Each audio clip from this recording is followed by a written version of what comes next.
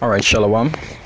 I'd like to give all praises, honor, and glory to Yahweh, Ba'ashem Yahushai, double honors the apostles, and elders of Great Millstone that rule well, and salutations to the Akim around the world that push the truth in sincerity. You know? So now, so I want to talk about prophecy a little bit. You see the elders Ella said that you know 2000 so-called 2018 is the year of prophecy. And prophecy is what really we are here for. You understand? As the men of the most high who are called prophets the point of a prophet is to do what? To prophesy. You understand? That is really our job to prophesy the downfall of this kingdom to prophesy the, the coming of the kingdom to come and to teach the people in this world the wickedness. So the Second Esdras 15 verse 1, right? It say, um, Behold, speak thou in the ears of my people the words of prophecy, which I will put in thy mouth, saith the Lord. Because really and truly, that is the purpose of a prophet. That is what he has raised up prophets for, to prophesy about things to come before the destruction that is what he do. That he what he used to do since the beginning of time. If it wasn't for that, it was to to warn the people of Israel. Here it is going on. Change all your ways. You understand? Or you will send prophets to actually teach them the correct thing. And what will be the penalty if they don't hearken on to those those correct things? Prophecy is one of the main points of being a prophet of the Most High if you're not speaking prophecy or teaching these things, then you're not classed as a prophet. You're not doing your job. So the Ecclesiasticus 39 verse 1, right? It say, but he had but he that giveth his mind to the law of the Most High, right? And is occupied in the meditation thereof, because it's something is supposed to be occupied in very often or you say in Joel 1 verse 8 it say um you meditated day and night you're supposed to be constantly meditating things are written in this book and different things that you're supposed to do and how to go about doing the most I will. Right? To say we'll seek out the wisdom of all the ancients which is how to talk about about inquiring the former times the right way and walking therein. We're supposed to be learning these things or how we're supposed to be and actually trying to fulfill these things and teaching others to do so. Right?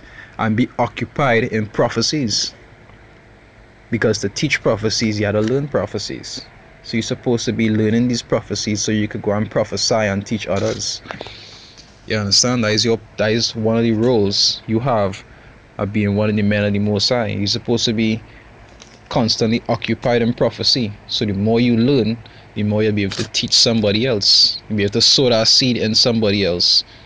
That they could one day be a good good bear fruit and go and sow seed somewhere else also. You understand? So guys First Corinthians First Corinthians 14 verse 5 right you say I would that ye all speak with tongues, but rather that ye prophesied. Right? Because prophecy is something that has to happen before the downfall of this kingdom. Because it's written that prophesy, prophets will prophesy about these things before the downfall. Is a process the most always take. You send prophets to prophesy, and then the destruction will come. Right? It says, For greater is he that prophesieth than he that speaketh with tongues, except he interpret, that the church may receive edifying. You understand? So, it's, it's not this this truth is not about being fancy or being able to do fancy things. You might see brothers that have all kind of different fancy abilities, but as long as you could be able to do the job of prophesying, that is the most important thing. You understand? Unless unless you're, you're translating for somebody else that prophesying. and the people because the people can't understand what the prophet's saying. Once you could prophesy or assist with prophet prophesying, that is really the important thing.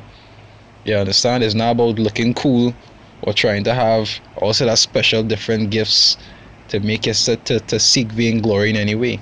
You understand? Prophesying is one of the major things. It's one of the major things when it comes to being a prophet. Because that way you get the word that is where you get the word prophesy from. Prophet.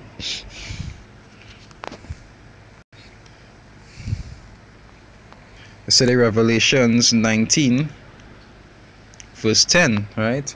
It said, I fell at his feet to worship him, right? This is the angel that was given John the Revelation.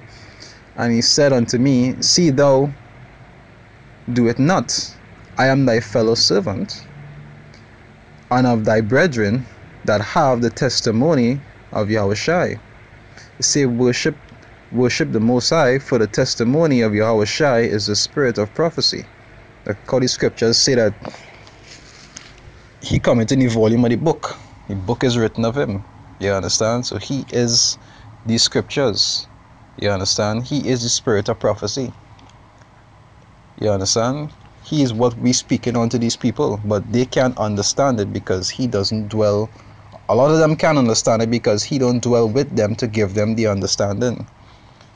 But we still we still supposed to go out and speak these words. These words have to go forth, so that so that the scriptures can be fulfilled. That the word went forth through the four corners of the earth, and then the destruction could come. You understand? Because all prophecy and scriptures must be fulfilled. And part of that prophecy is the men going out and prophesying, which is why prophecy is so important. You understand? And seen as the elders say, is a year of prophecy. This to be a year that you have to be focused more in prophecies about certain things that are to come, and you to be focused more on pushing prophecies because we're nearing that time that that destruction coming. Every month, every day, every year is closer and closer to when that time will come. So you to be more and more occupied and more diligent in prophecies. You understand?